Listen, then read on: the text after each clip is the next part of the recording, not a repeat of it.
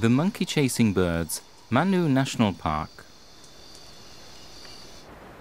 Manu National Park in Peru, in South America, covers the River Manu Basin, one of the headwaters of the Amazon.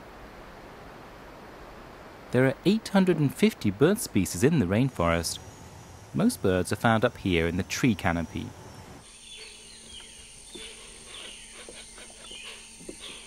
However, some prefer to live below on the dark forest floor. These are pale-winged trumpeter birds.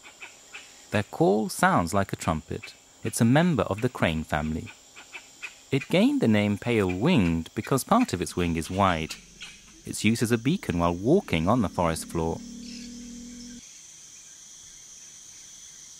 Trumpeters aren't good flyers but can fly enough to cross this 5 meter wide stream.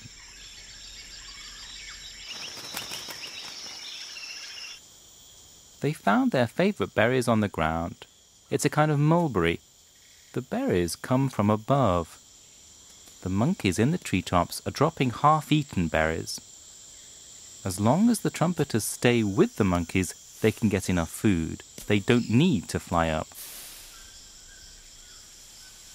The trumpeters' feeding time is over when the monkeys go on the move.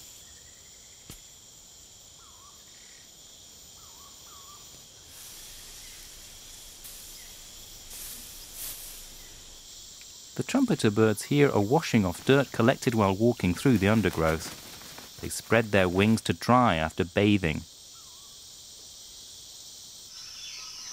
One trumpeter is flying off, it stops, and then flies higher. The nest is 15 meters above ground. The strongest female mates with all the males in the flock and lays eggs. The male trumpeters believe they're the father and take turns warming them.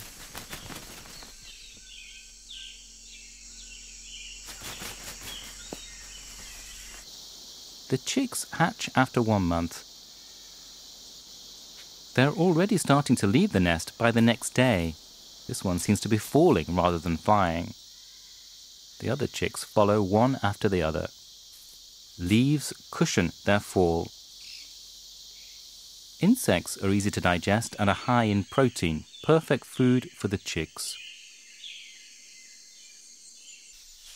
Trumpeters survive on the tropical forest floor with the unwitting help of monkeys, the chicks will soon follow the adults through the forest.